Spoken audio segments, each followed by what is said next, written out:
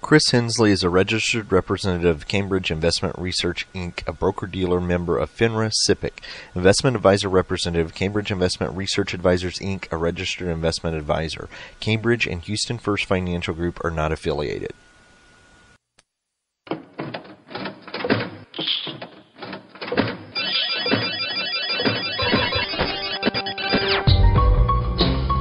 The Houston Midtown chapter of the Society for Financial Awareness presents Money Matters with your host, Christopher Hensley.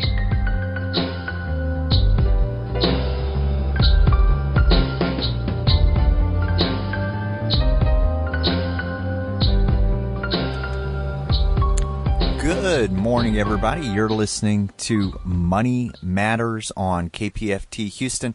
I'm Chris Hensley. The time is now 11 a.m. Got a great show lined up for you today. We have discussed the impact of emotions on money in the past, uh, but this is an important topic that we will revisit from time to time. Uh, we have with us today Martin Hurlburt, who has done a TED Talk on just that topic how to overcome the cost of being human. Uh, where does emotion play a role in financial decisions. So please stay tuned.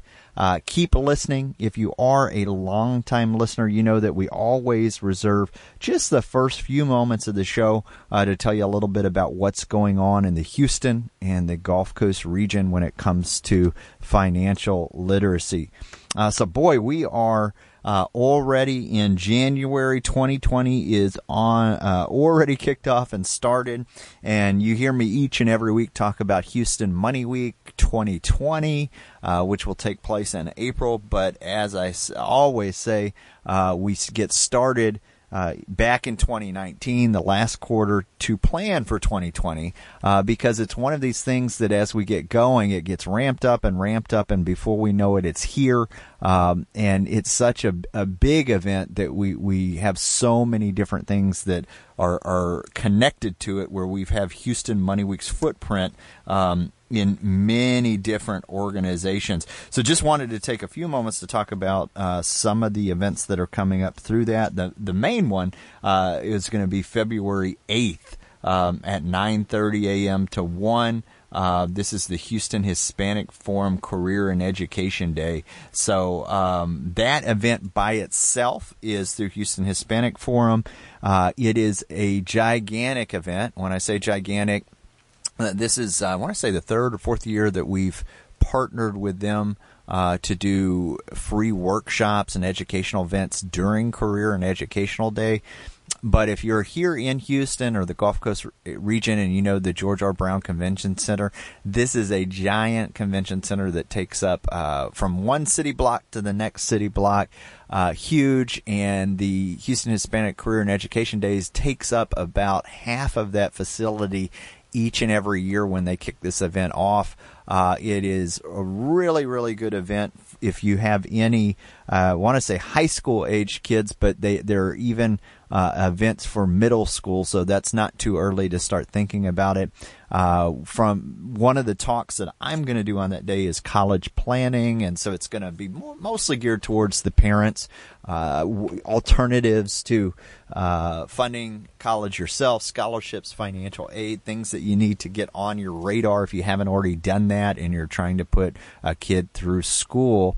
Uh, what can you do to best prepare yourself for that? So that's one of the talks. We're also going to be joined by uh, Winfang uh, who is a also on the leadership team with Houston Money Week, and she, I want to say, last three or four years has also been doing talks with us there, and they are great. They are actually geared towards the students, uh, so it it will be um, time well spent.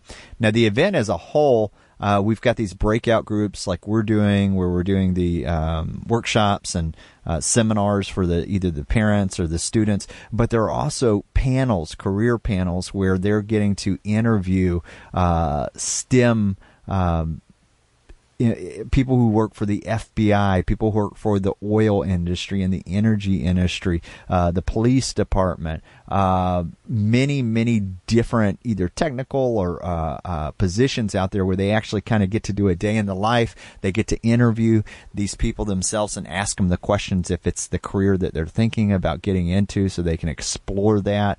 Uh, very, very cool event. Um, I don't know who they're having as the main speaker this year, but the mayor had kicked it off several years ago, and they have kind of a rally right at the beginning. Not just Houston, even. Uh, they have buses that will bus people from outside of the Houston area to it, so it is a giant uh, event. Encourage people to go to that. You can find out more Houston Hispanic uh, Forum. Uh, .org or go to the Houston Money Week website HoustonMoneyWeek.org, and we have a calendar link for for upcoming events.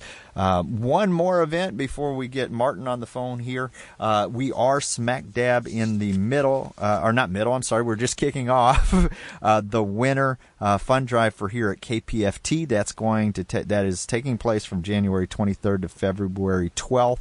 We are community based radio, so one of the ways that we bring this to you free at no charge and we are able to keep the lights on is through community uh, fundraise or through through volunteers supported and through community giving back and and making donations. So if you would like to make a donation to the station, you can always go to kpft.org.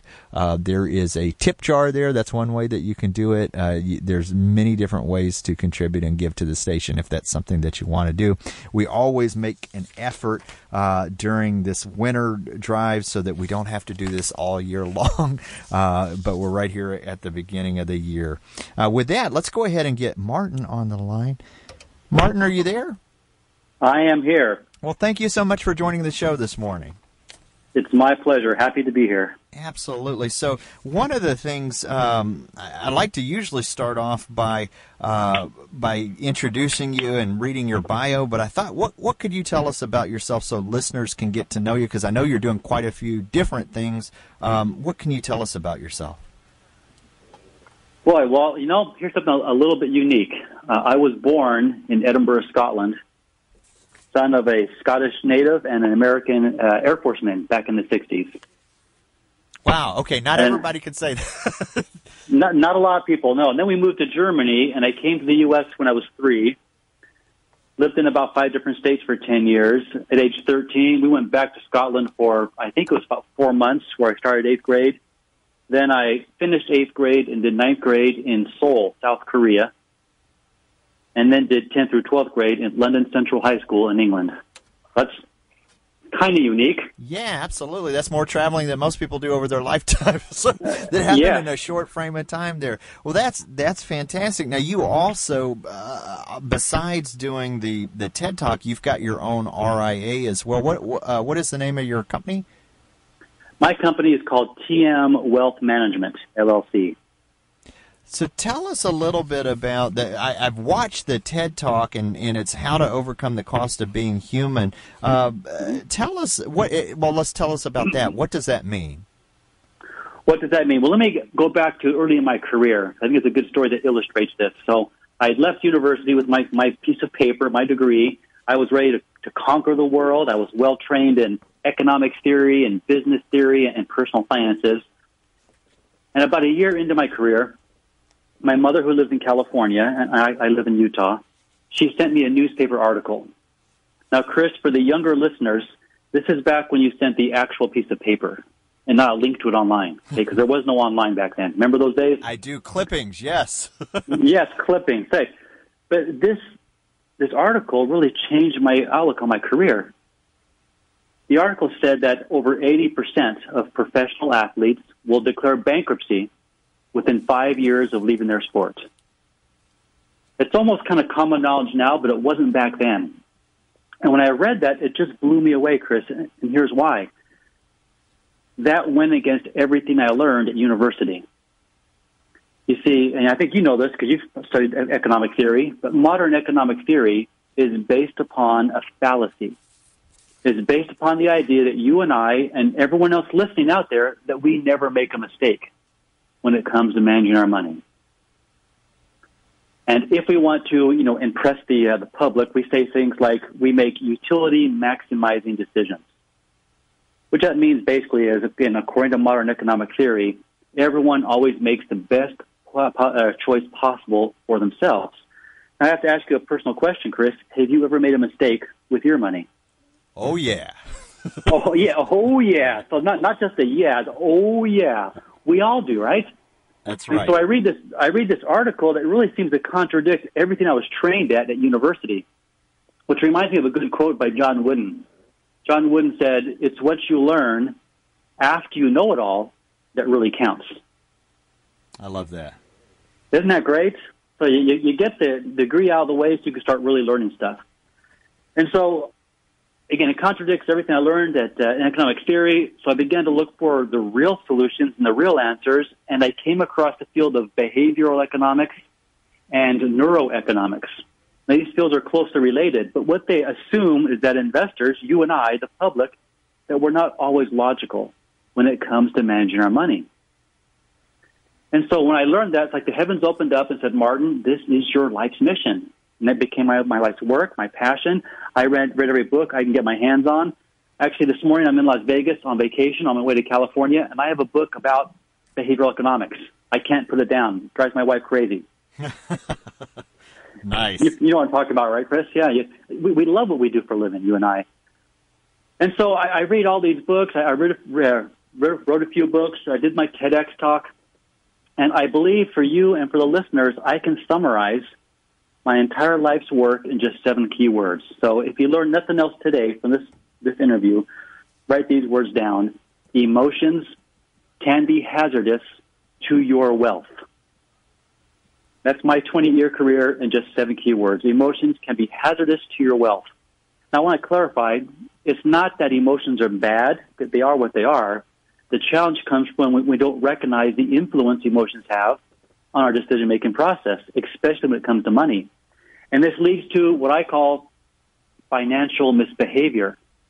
So financial misbehavior is when very smart, hardworking, successful people use gut feelings, intuition, and emotions instead of logic to make important financial choices.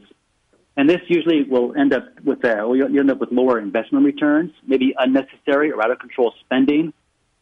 Financial misbehavior introduces financial stress into our lives, which can impact our health, our relationships, uh, even our spirituality, our mental well-being.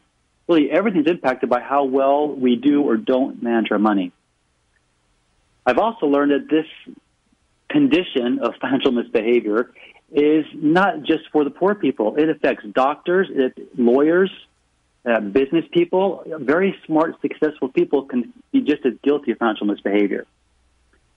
So I think in order to understand how this financial misbehavior kind of develops uh, and appears in our lives, we need to do a brief summary of how our brains operate. I think we all know that our brains have two basic parts, the emotional side and the logical side. And that is an oversimplification for all you neuroscientists out there listening. I, I understand that, but it works for today. So the emotional side wants two things, Chris. Any guesses what drives the emotions in our in our mind? Uh, no. Tell me. I'll just tell you. All right, I'm the guest here today. Emotions want to either get pleasure or avoid pain. Ah. So it's kind of, kind of very short term thinking. Right? I want to either get pleasure now or avoid pain right now. And that's the, the primary driving factor for the emotional side. The logical side wants to take its time. It wants to carefully compare and contrast all possible courses of action and choose the absolute best one. Now, you know, left to its own, the logical side may never make a decision because we can always just keep getting more and more information, right? Life is good when the emotional side and the logical side are both working together. But there's a couple of challenges with that. Uh, Daniel Kahneman won the Nobel Prize in economics, and he said, as much as possible, our brains will push choices into the emotional side. It's faster, it's easier, and it uses less energy. And of course, the emotional side is also very powerful because since the beginning of mankind, we kind of use that to survive. Let's now go into neuroscience here a little bit, and they've given us some really fascinating insights how our brains operate. They've taken pictures of our brains while we're thinking. In one study, they looked at the brain scans of people who were thinking about getting money. And what they found is the dopamine levels went up, right? The feel good parts of the regions were all triggered and, and they felt awesome. So what that means is we don't have to actually get the money to feel good. Just thinking about getting the money feels good. Wow.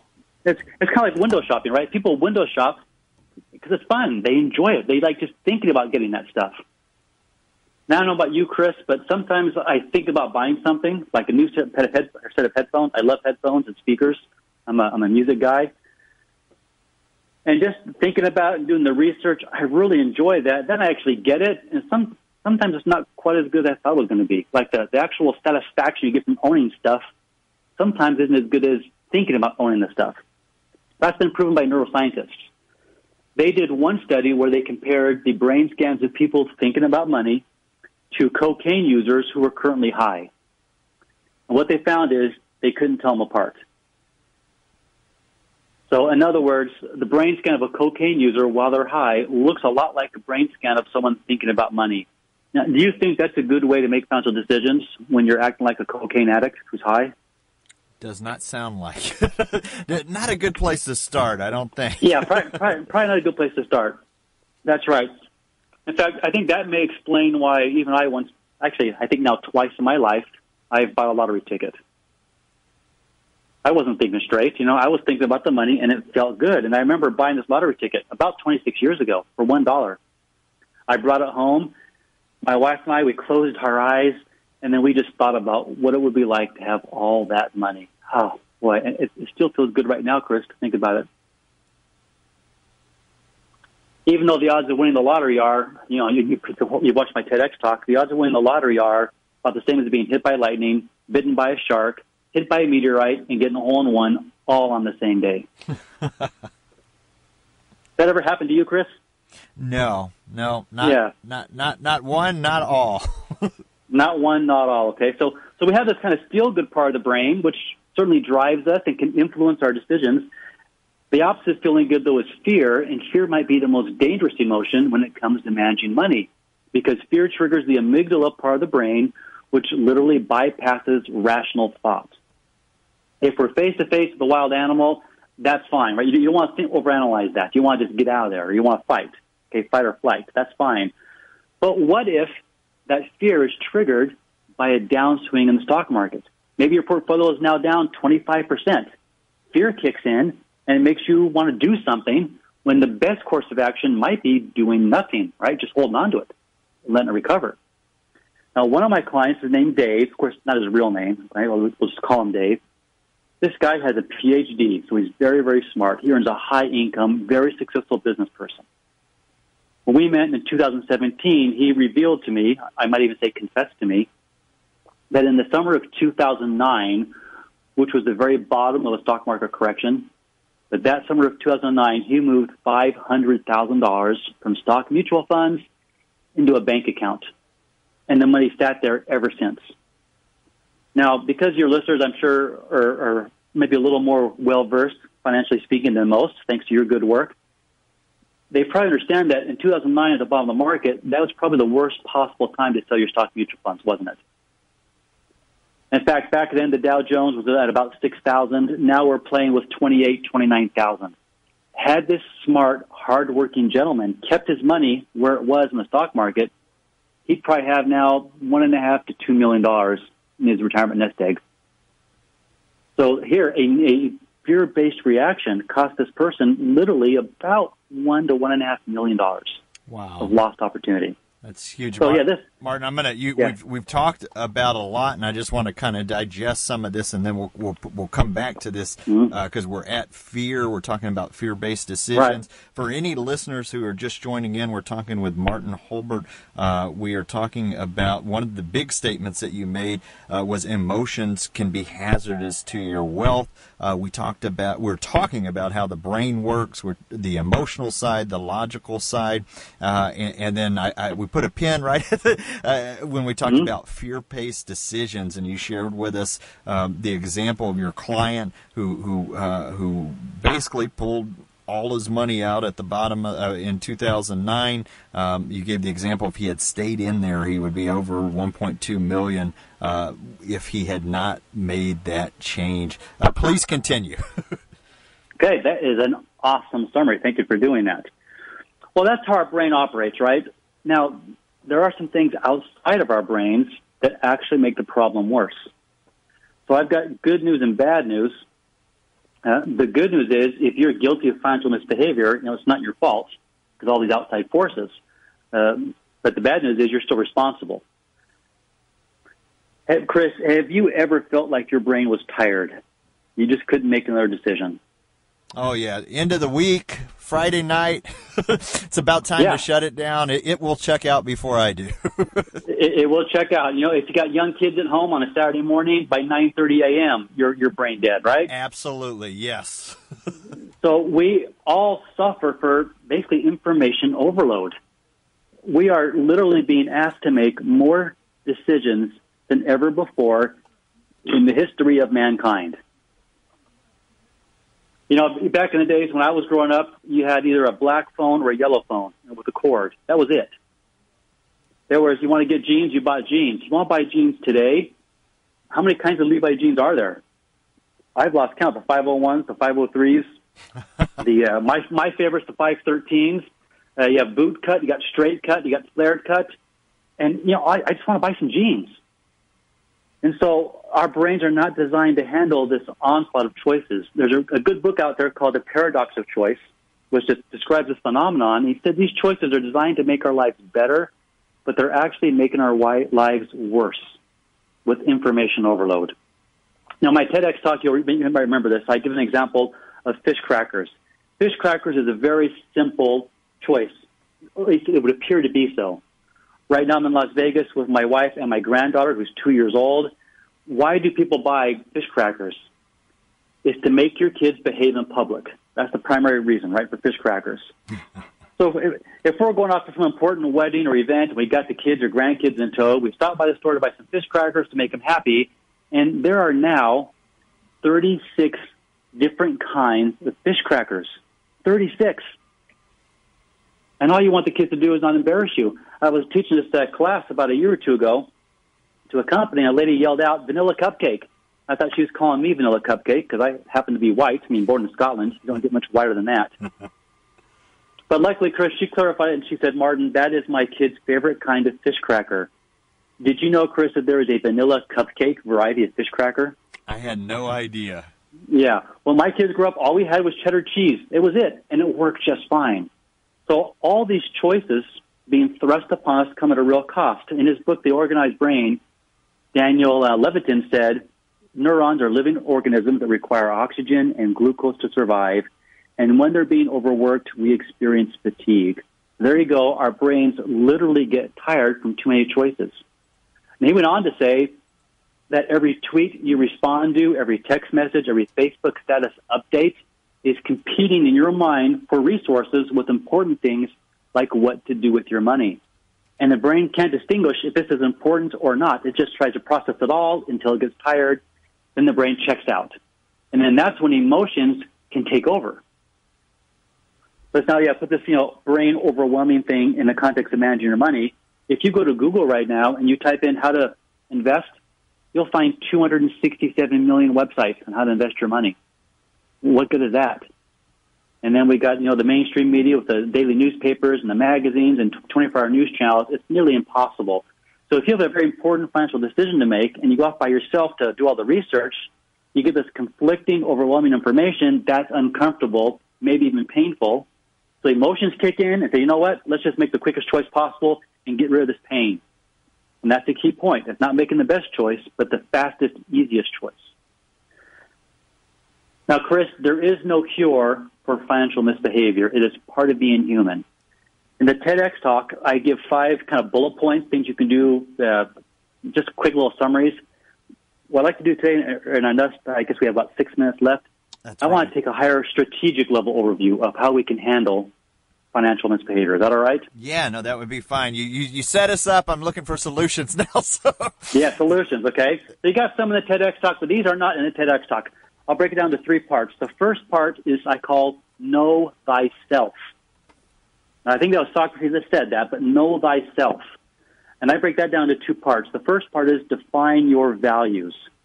What's important to you? In other words, really financial success in my book, in my mind, is not about money, but it's about influencing and controlling the impact that money has on the people and the causes you care about most. There's an example. If someone you know takes their say him, himself, his wife, his kids, and maybe his grandkids, you know, takes we'll call it 20 people on a cruise. That's kind of pricey. He might spend fifty thousand dollars to do that. Well, is that person's goal to spend fifty thousand dollars and give that money to the cruise ship? No. Is his goal to have fifty thousand dollars? No. His goal is to create long-term family memories, is to increase and tighten family bonds. That's what that person wants, right? right. So it's not about the fifty thousand or the cruise ship. It's about the family experience. So know thyself is define clearly what you want your money to do for you and the people and causes you care about most. The second part to know thyself, and that is understand your money personality. Are you a saver, a spender, a risk taker? On my website, ifmoneycouldtalk.com, there's a free money personality. And your money personality is the lens through which you view your financial world, impacts how you do basically everything, uh, financially speaking. And so understand that, and if you're married, understand that of your spouse and you'll have fewer disagreements about money. So the first step is to know thyself. The second step is to create a plan. And to make your plan truly effective, I think a couple things need to happen. Make sure you set goals that are in alignment with your values. And you'll be far more committed to the plan. You'll be far more likely to follow through and actually accomplish it. That's why number one, you know yourself, right? Here's what's important to me. Now we set goals in alignment with what's important to me and those goals will become much more real to you. Another key part of creating your plan is to get an accurate and honest snapshot of where you are right now. In other words, no, here's exactly how much debt I have. If it's ugly, get it out there. And I think you've probably met clients like this, Chris, and I have as well, who have, let's just call it too much debt, right? Credit card debt. Right. It can be very, very liberating to actually get that number on paper or an Excel spreadsheet. Here's exactly where I stand, and here's exactly when I'll be debt free whether it's in two years, five years, or whatever. So have an accurate snapshot of exactly where you are. Of course, also in terms of your assets and your pension. I did a plan for a school teacher one time and asked her how much was in her 401k. She said, Martin, I, I don't contribute to the 401k. I said, well, the school does for you in anyway. So I don't, I don't think so, Martin. So I had her call her school district. Turns out she had $36,000 that she didn't know she had. Nice. so, so yeah, that was that was, that was a nice nice call to make, right? but so but so we just don't know sometimes. So get the accurate snapshot. Now here's a key thing: uh, HSBC Bank did a study of people who had plans versus those who didn't have plans.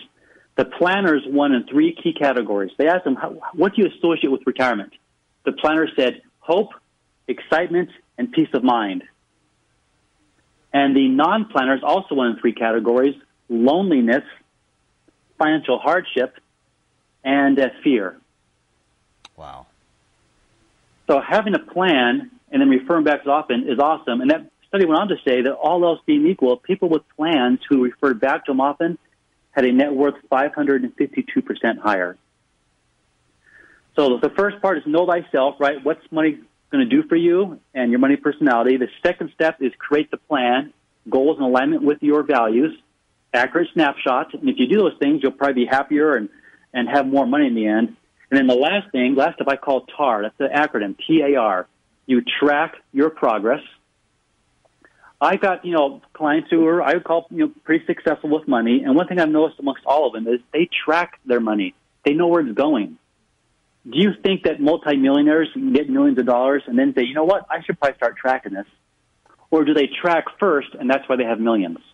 The second, definitely. yeah, the, the tracking comes first. So, okay, you, you've got the plan in line with your values. Now track your progress, and your progress will accelerate. That's the key. The A is adjust. The best plans I make for my clients are outdated the moment I give it to them because everything's already changed, right? You know, the stock market, the investments, uh, the taxes, and things like that. So you need to always be adjusting your plan. And then the R in TAR stands for repeat. So you track, adjust, and repeat. If people will do those things, Chris, their lives will be far better. They'll have far less financial stress in their lives. I love so again, it. you know know yourself, create the plan, and you track, adjust, and repeat. That's the key to overcoming financial misbehavior.